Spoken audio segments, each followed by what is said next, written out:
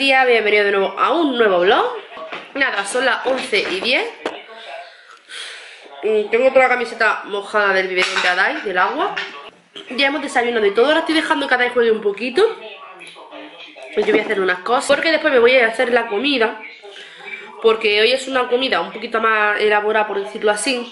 Tiene muchos pasos Que además os voy a dejar la receta, ¿vale? Más adelante. Eh, voy a dejar la receta pero en este caso no la hago yo sino es una receta de mi tío. Así que él el otro día la grabó para enseñármela a mí cómo lo hacía porque las veces que lo he intentado hacer no me salía igual. Así que yo lo voy a poner a vosotros para que veáis cómo lo hizo, ¿vale? así no tengo yo que grabar ni la receta ni nada. Así que bueno, me pongo a hacer cositas y nos vamos viendo. Bueno, he subido a intentar dormir a Dai pero ha sido una gran pérdida de tiempo porque se está mal acostumbrando a dormir con nosotros y cuando te levantas de la cama él tiene una alarma, ¡ting! se despierta. Locha en la cuna tampoco, y la cosa es que está agotado porque no ha parado. Luego es un niño que como madrugue mal y me tiene hasta aquí.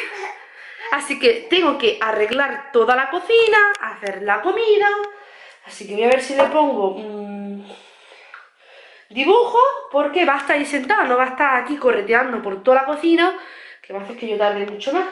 Así que nada, dibujo y me voy pasando frío aquí tontamente. Me voy a poner a hacer yo la comida.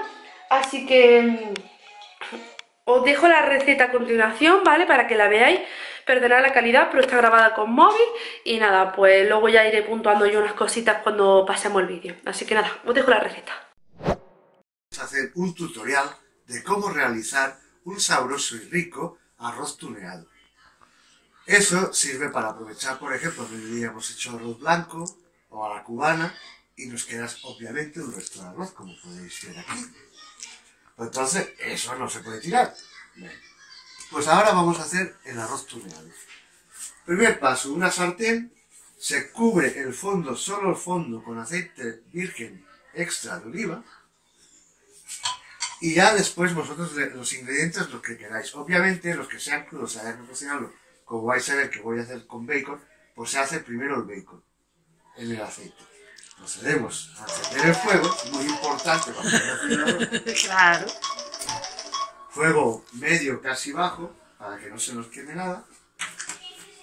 Y en el aceite el toque, bueno, es un buen pimentón de la vera. Como yo tengo la suerte de que mi cuñado me lo consigue del sitio con denominación de origen Talavera de la Reina, pues yo le voy a echar al aceite, porque el pimentón hay que freír un poco antes, le voy a echar el pimentón de la vera.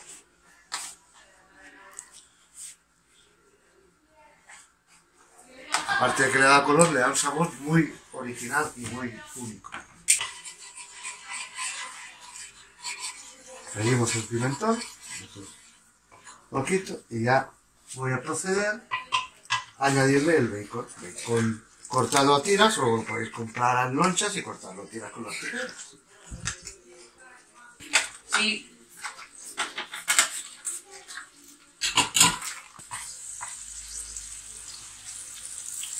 Friendo el bacon.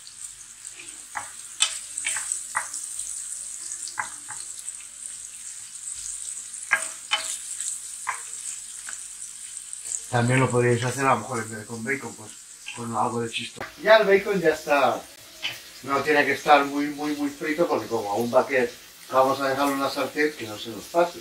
Pues cuando está así ya, que ya lo vemos que ya está pochadito, que ya tiene su colorcillo de frito, pues ya podemos pasar a añadir el arroz. Los ingredientes que son, que ya no hay que cocinarlos como jamón de york o eso, se, echan ya al casi final. Ah, vale, vale. Ahora, removemos para que la arroz vaya cociendo el sabor y el color del pimentón. Que podemos bajar un poco al fuego para que no se queme.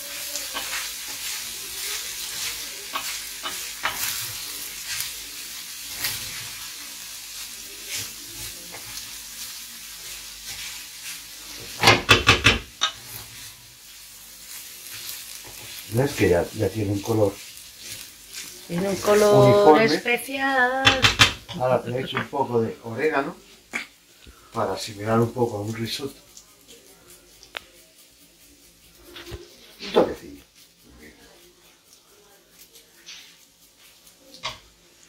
Vale. Se ve un poquito de pimienta.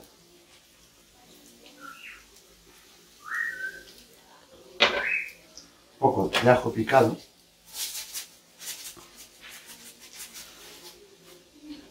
Vamos a echarle las gambas. Eso ya al gusto, la cantidad de gambas que le echéis, pues al gusto. Nosotros como nos gusta mucho lo echaremos. Nosotros como nos gusta mucho, ¿Quieres que lo? Las gambas, estas te las hace así. No hace falta. También, si, a ver, depende del tiempo que queráis, pues también se puede freír un poco antes con aquí el perejil y añadirlo. Pero a mí me gusta hacerlo. Ah, ¿vale? Es importante no dejar de mover y se haga uniformemente. Como las gambas son congeladas, pues vamos a esperar un poco. Claro. Las. ¿Veis el color que le da el pimentón de la vega? Puede añadir tortilla, si queréis, pero eso la tortilla la hacéis aparte, la picáis y ya cuando ya al final se le echa. Podéis echarle guisantes también, lo que queráis. Eso según pues, abrís la nevera, lo que encontréis, pues echáis. Se hecho un puchero y ha quedado pollo, por ejemplo, le podéis echar la carne del pollo. Añadimos el jamón de york.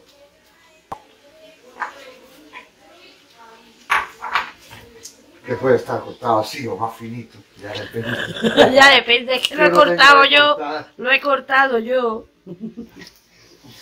Me ha tirado mi cuñado ahora en directo. Muy sutilmente. Y ahora, pues, a ver, el tiempo de lo, lo que lo marca son las gambas, Claro. que es el ingrediente que, que está crudo. Pero estas gambas peladas tampoco. Eso está tampoco. mucho. Tenemos aquí una mosca cojonera ahí detrás que la tengo, que no para de cascar, pero bueno. Sí, se podría haber hecho la gamba aparte, pero ya teníamos que usar otra sartén, ya. Entonces, para. Has echado después del bacon, que también sirve. Ya al gusto. Nada, la mosca cojonera detrás. El, el arroz, lo, lo suyo que sea, porque tiene esta textura porque es un arroz vaporizado. Que no se Arroz pase. largo, no lo hagáis con un arroz normal porque Que si no va- una pasta. Claro. El arroz blanco cuando se cuece, igual que la pasta, hay que, hay que enfriarlo con agua, con agua fría para que no se pegue.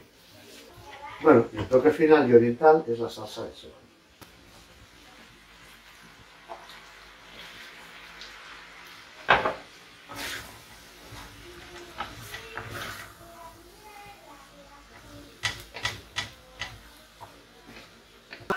Pero no tiene más secreto, una cosa simple, sencilla.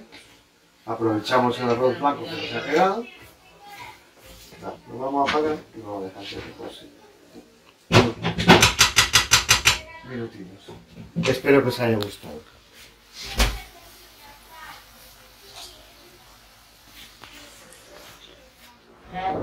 Huele de muerte. fin de la receta. Ahora. Que os aproveche. ¿Cómo lo voy a hacer yo? Yo sí voy a freír en el aceite antes de echar el pimentón, el bacon, el jamón de york y la salchicha. En una sartén que ya tengo el aceite como veis. Aquí tengo unos champiñones salteando para que no suelten agua en el aceite y una tortilla liada que ya había hecho antes. Ahora la partirá todo. Una vez que lo he frito todo lo he sacado y ya está. Ya tengo la tortilla partida los champiñones y el arroz por aquí ya listo con el pimentón.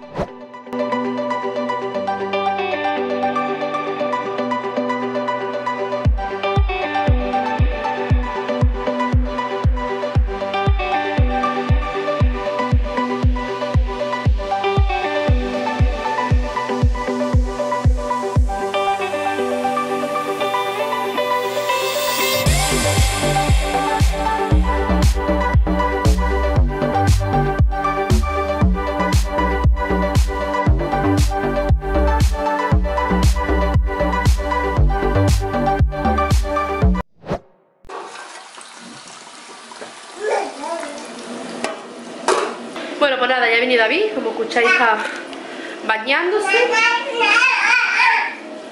Adai ya ha comido, que ha comido lentejas. Y yo estoy friendo la carne. Eh, os enseñé unos rollitos que hice. Y es que David trajo mucho jamón de york y mucho queso y se lo iba a poner malo. Digo, venga. Y he hecho el al mío ya he visto que le he echado roquefort y al suyo queso normal. Y pues nada. La cena para esta noche. Si es que mm, llevo todo el día aquí. Y le he dicho que me trajera harina porque quiero hacer un bizcocho, pero como se me olvidó decirle que me trajera extracto de vainilla, de vainilla me la tiene que traer, ya lo haré mañana. Así que ahora estoy haciendo la comida, tengo por allá la ratilla debajo de la silla. La Dai, que es más malo, y qué malo es. Ay, Dios mío, cómo nos desafía. Le digo que no se suba a la escalera y le regaño, y lo regaño, y lo regaño. Y sigue subiéndose. Venga, de aquí fuera, que hay aceite. Ahí. Qué mal. Eres muy malo. Bueno, ya termino. Yo que me pongo aquí de barrera para que cada no pase. Sobre todo cuando hay sartén así con aceite. Así que pues nada, que voy a seguir haciendo la comida. Bueno, nos hemos levantado, de ahí a merendar, voy a merendar yo. Y mi tía por lo que sé me había escrito que le diera la tarjeta del móvil que ya se iba. O por el móvil. A las menos 10, ¿vale? Yo le he contestado a las 6, me ha dicho en un rato, en un rato voy. A las 6 le he contestado resulta que ya se ha ido, se ha ido la tarjeta del móvil, sin nada. Y ahora el problema no es que no me pueda meter la tarjeta la muchacha y pueda comprobar que todo va bien. Es que yo no tengo para meter la tarjeta en el móvil, no tengo el pinchito para poder meterla, así que tendré que utilizar un alfiler o algo. Encima se va sin móvil, con la que está cayendo, yo no lo entiendo, porque diría que ir a la farmacia también. Y por eso ya que iba a la farmacia, pues salía por mi móvil. Y... No lo entiendo. Chiquilla, toca ver el timbre. Chiquilla. Ahora cuando venga se voy a decir. Vamos. Espero que no se te ha quedado otra vuelta. Porque lo hayas dicho. Pero mira la tarjeta, el papel verde, etcétera, etcétera. En fin. Un a merendar. Bueno, pues ya viene mi tía con el móvil. Y resulta que le dice la chica de la tienda que la próxima vez, ¿eh? la próxima que no le quite el quitar templado. Chiquilla, que la pantalla la he pagado yo, que si yo quiero quitar el quitar templado pensando que ese era el problema, además que lo hice por ella porque digo, a ver si el problema va a ser que está templado y ahora la voy a hacer molestarse en pedir otra pantalla, etcétera, etcétera. Y por eso lo quité, para probar si era el quitar templado. Que no se lo quite porque si no, ella no se lo devuelven. Perdona. Pero si esto, esto me lo has regalado tú, que ya templado, si mañana se me rompe y yo me quiero poner otro, ¿qué hago? Si la, si la pantalla tiene 6 meses de garantía, ¿qué hago? ¿Me dejo 6 meses el cristal roto? En fin. ¿Qué vamos a hacer? Que ya me sale David, que son las 7 menos 10. Estoy aquí verificando que el teléfono vaya bien. Ha hecho como un pequeño amago de... ¿Saben? De fallar un pelín. Pero bueno. A ver, no sé. De verdad que no voy a volver a esta tienda ni para pedir la hora, de verdad lo digo. Además ella misma me dijo que se encontraba su niña pieza y que la reutilizaba, no sé qué. Mira, de verdad, no creo que le vaya muy bien a esta chica, lo siento. Porque después de todas las vueltas que me ha hecho dar... Y tal, que también soy tonta y masoquista porque voy y vuelvo. En fin. La más culpa que tengo yo no tiene nadie. Nada, ya estamos todos bañados. Hoy me recogió el pelo a la mano una coleta. ¡Adai, te voy a dar!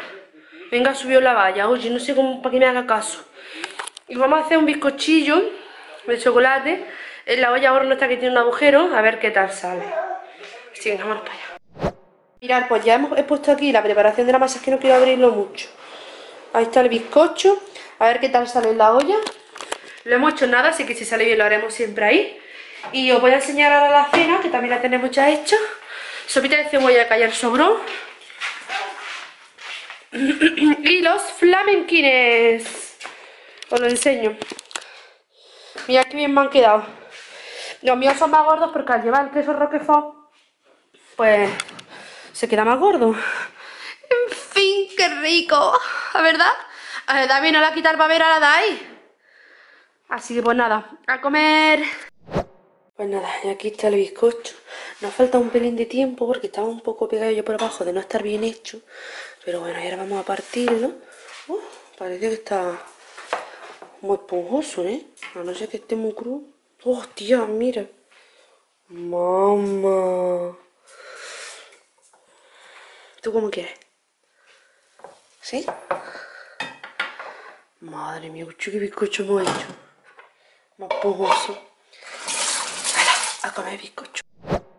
Bueno, nos vamos a colar en este vlog con esta pintilla de su madre para despedirlo porque no sé qué ha pasado. Faltan ahí como unos clips. Ha tenido que haber algún fallo y faltan unos clips donde me despedí y tal. Así que bueno, no sé qué habrá pasado.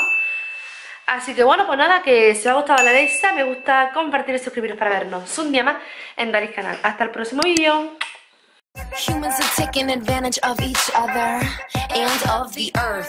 And now as our brains begin to evolve, I wonder if we will all realize what this is worth. Will we solve the equation of birth? I say yes, it only makes sense beyond cents and dollars. Back to the beat makers and potters, back to the origins of our fathers and freedoms, not